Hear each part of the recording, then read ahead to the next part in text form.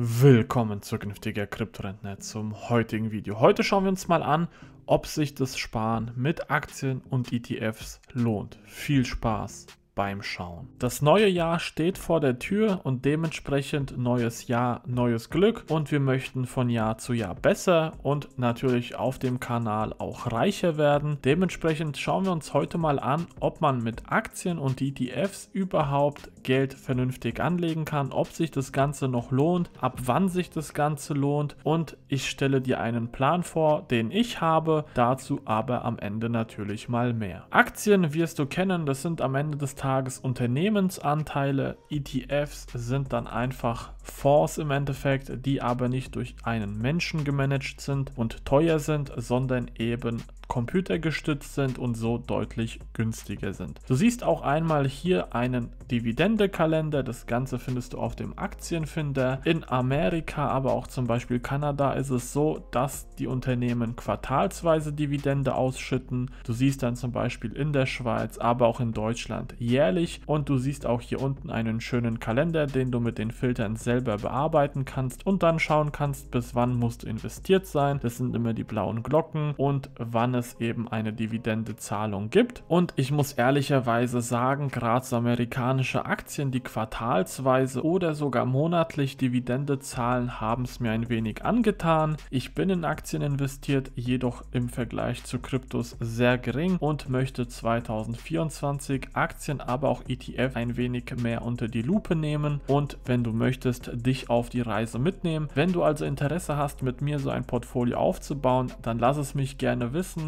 Schreib es auch in die Kommentare, damit ich weiß, dass da Interesse besteht. Auch gerne liken das Video. Dann weiß ich, okay, das Interesse ist da. Wir bauen gemeinsam ein Portfolio auf und du wirst sehen, ob sich das Ganze für dich möglicherweise lohnt. Über Trade Republic haben wir schon öfters gesprochen. Das Ganze kann ich dir nur wärmstens empfehlen, weil ich das Ganze gerne selber nutze. Unter anderem, weil es aktuell einfach 4% Zinsen auf das Geld gibt, was man noch nicht investiert hat. Jetzt gibt es eine Freund wirbt Freund Aktion und so kann man bis zu 8% Zinsen auf das Jahr gesehen bekommen und zusätzlich gibt es einen 20 Euro Bonus. Dementsprechend, wenn du sagst, du bist noch nicht bei Trade Republic, du willst die 4 bzw. 8% mitnehmen, die 20 Euro auch und vielleicht so wie ich in Aktien und ETFs investieren, dann kann sich das Ganze lohnen. Das Ganze ist wie gesagt meine eigene Empfehlung, meine eigene Meinung und keine platzierte Werbung von Trade Republic oder sonst wem. Auch sonst natürlich das wichtige Disclaimer, das Ganze ist weder eine Anlageberatung noch eine Anmeldeberatung noch sonst irgendwas. Du musst musst selbst entscheiden, wie du hier vorgehen möchtest. Ich werde dir meinen Weg am Ende des Videos natürlich einmal grob vorstellen und bin dann auf dein Feedback gespannt. Kommen wir jetzt aber zu der Frage, lohnt sich das Investieren überhaupt? Dazu habe ich hier einmal von iShares, kennst du wahrscheinlich, weil es zu BlackRock dazu gehört, einen ETF-Sparplanrechner. Wie funktioniert das Ganze? Du kannst dir einmal auswählen, wie viel Geld hast du einmalig investiert. Wir sagen jetzt einfach mal 0. Wir möchten bei 0 Euro starten und dann kannst du hingehen und dir aussuchen, aussuchen, wie viel möchtest du hier investieren. Das Ganze monatlich jetzt an dem Beispiel und wir gehen jetzt einfach mal hin und sagen 20 Euro, weil 20 Euro, da will ich keine Ausreden hören. 20 Euro kann sich jeder leisten. Das ist von mir aus einmal Megas, zwei Schachteln Kippen, egal. 20 Euro kriegt man im Monat irgendwo irgendwie zusammengekratzt, auch wenn es aktuell schwer ist, weil natürlich die ganzen Steuern, natürlich aber auch die Inflation und die Menschen damit natürlich zu kämpfen haben. Du siehst auch hier, man legt das Ganze auf den MSCI World an, was durchschnittlich 8,65% sind. Wir können das Ganze natürlich hier auch mit weniger rechnen, weil wir einfach pessimistisch sind und wir gehen auf 5%. Und du siehst, wenn wir das Ganze auf 5 Jahre anlegen, dann hättest du von dir 1200 Euro zurückgelegt. Natürlich, wenn die Kurse schwanken, ist es weniger, wenn die Kurse steigen, ist es mehr, aber wir sind Pi mal Daumen bei 1200 Euro und du siehst, du hättest nach 5 Jahren gerade mal eine Rendite von 156 50 Euro. Wenn man als langfristiger Anleger hingeht, dann sind aber die 1200 Euro im besten Fall auch mehr geworden und dann hast du eben am Ende des Tages nicht die knapp 1400 Euro, sondern wenn es gut läuft 1,6, 1,7. Wenn du wissen möchtest, wie du deine vermögenswirksamen Leistungen auch in ETFs anlegen möchtest, dann gerne einen Kommentar da lassen, dann mache ich natürlich auch gerne dazu ein Video, weil so kannst du mit dem geschenkten Geld vom Arbeitgeber auch noch in ETFs reinsparen. Soweit, so gut. 20 Euro ist jetzt natürlich wenig und tut keinem weh. Dementsprechend kann man das auch zum Beispiel 10 Jahre laufen lassen. Dann hättest du schon an Gesamtrendite knapp 700 Euro gesammelt. Die 2,4 können mehr oder weniger werden, brauchen wir nicht drüber reden, aber du siehst knapp 700 Euro Rendite auf 10 Jahre gesehen ist natürlich nicht unbedingt viel, aber auch Kleinvieh macht Mist und erst wenn man hingeht und sagt 15 Jahre, dann siehst du, bist du schon bei der Hälfte, da fängt es an sich zu lohnen und bei 20 Jahren bist du fast bei dem Betrag, den du auch investiert hast. Es ist also doch gar nicht mal so schlecht und wir rechnen hier mit den schlechten 5%, hätten wir das jetzt bei den knapp 9% hingestellt, wärst du natürlich deutlich schneller, deutlich weiter. Soweit, so gut. Ich möchte natürlich nicht alles jetzt hier durchrechnen. Wir gehen jetzt einfach mal auf 50 Euro, weil auch 50 Euro sich die meisten leisten werden können. Auf 10 Jahre gesehen bist du bei 1700 Euro, die du an Dividende bzw. Rendite einfach dazu bekommen hättest. Ist eine schöne Sache, kann man sich natürlich schön rechnen. Es kann natürlich auch mit den Aktien in den Keller gehen. Dann sieht es vielleicht nicht so rosig aus. Dann musst du einfach noch länger halten und je länger du hältst, desto besser ist es. Und dann kann sich das Ganze auf lange Sicht definitiv lohnen. Wenn wir jetzt hier mit diesen 8,65 rechnen, dann siehst du bei 15 Jahren bekommst du fast 9000 Euro nur an Rendite, obwohl du monatlich nur 50 Euro gespart hast und so am Ende des Tages mit den 9000, die du gespart hast, bei fast 18.000 Euro bist. Kann man meiner Meinung nach mitnehmen, aber das muss natürlich jeder für sich entscheiden, weil das Ganze natürlich keine Anlageberatung ist. Die Zahlen sehen natürlich immer besser aus, als sie es sind und deswegen möchte ich mit dir auch ein eigenes Portfolio aufbauen. Ich habe dazu mir unter anderem bei Trade Republic ein Konto leergeräumt, wo wir bei Null starten können. Das heißt, wir haben dort keine Aktien, keine ETFs nicht und wir werden hier mit ETFs loslegen. Und ich habe hier auch schon einen Sparplan vorbereitet. Ich habe mir schwer getan,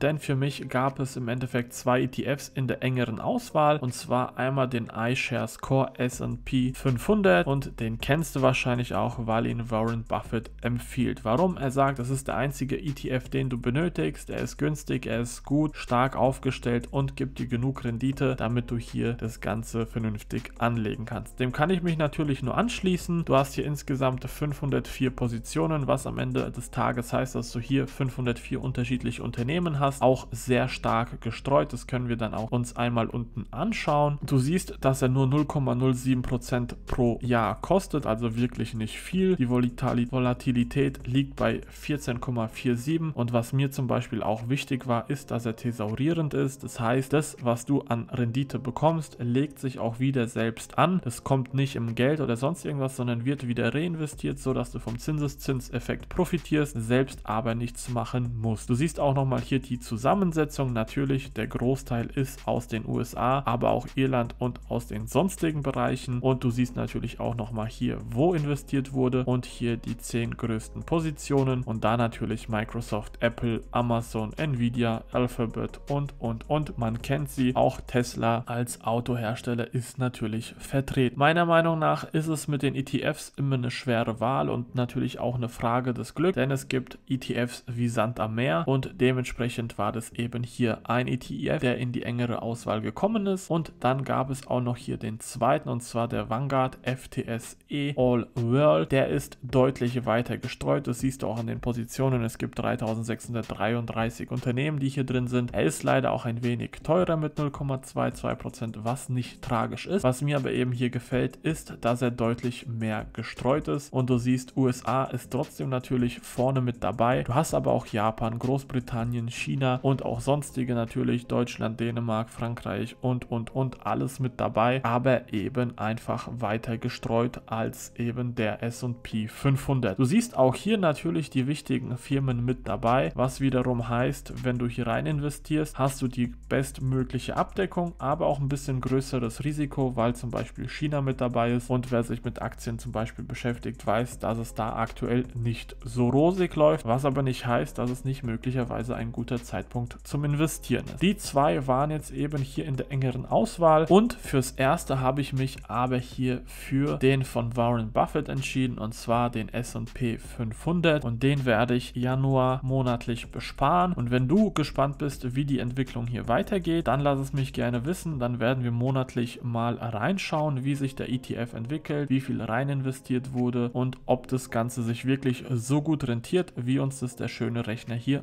ausrechnet. Ich bin auch am überlegen, ob ich nicht ein wenig in Aktien mich noch besser aufstellen soll und auch da gibt es natürlich interessante Aktien, die entweder monatlich Dividende zahlen, quartalsweise Dividende zahlen oder auch jährlich Dividende zahlen. Wenn du auch hier mehr wissen oder sehen möchtest, lass es mich natürlich gerne wissen, weil ich mit dir natürlich auch über den Tellerrand schauen möchte. Allen voran werde ich natürlich auch weiterhin in Bitcoin investieren, weil das meiner Meinung nach eine sehr gute Möglichkeit ist, um sein Geld zu vermehren. Aber wie schon erwähnt, das Ganze ist keine Anlageberatung. Falls wir uns dann dazu entscheiden, gemeinsam in Aktien zu investieren, wird es natürlich ein separates Depot geben, dass wir hier mit den ETFs nicht durcheinander kommen. Das heißt, bei Trade Republic werden wir in ETFs investieren und wir werden dann schauen, bei einem anderen Anbieter dann eben in Aktien investieren. Aber auch da, wenn Interesse besteht, werde ich dich natürlich mitnehmen, damit wir sehen, wie sehr lohnt sich das Ganze, wie viel kommt da wirklich bei raus und wie entwickelt sich das Ganze mit dem Risiko. Dementsprechend, wenn dir das Ganze gefallen hat, du vielleicht die Reise selbst mitbegleiten möchtest, dann gerne unten den Link nutzen, damit du natürlich bei Trade Republic die beste Aktion mitnehmen kannst und dann sehen wir uns selbstverständlich zum nächsten Video zukünftiger Kryptorentner. Let's go. Yeah. I'm like an addict, do I gotta have it I ain't even playing, got a really bad habit If it moves, gotta grab it, fuse like a magnet Lose, won't have it till I'm doomed in a casket I ain't playing, got a weird mind. If you work 8 hours, I'ma work 9 If the shit tastes sour, you should taste mine. I'ma stay in power for a long time. Get up, nah, I ain't a quitter. Toss me the ball, I'm a really big hitter. Big picture, I'm a straight killer